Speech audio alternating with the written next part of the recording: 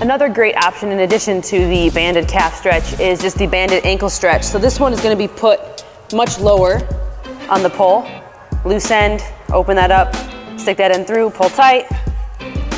This is gonna be put directly on my ankle. So I'm going to kind of move the tongue of my shoe, put the band as low as I can. And same stomp and pull method here. And then from here, I'm going to actually take my opposite hand and hold my heel to the ground so that I can keep that heel planted and drive my knee forward. This is gonna break up any junk that's in your ankle from years of pounding or just not much lateral side to side movement. The ankle can really build up tissue and it can make it hard for flexion to occur when squatting. So I'm gonna drive my knee forward. If your heel comes up, then you need to bring it back a little bit and push harder with that back hand.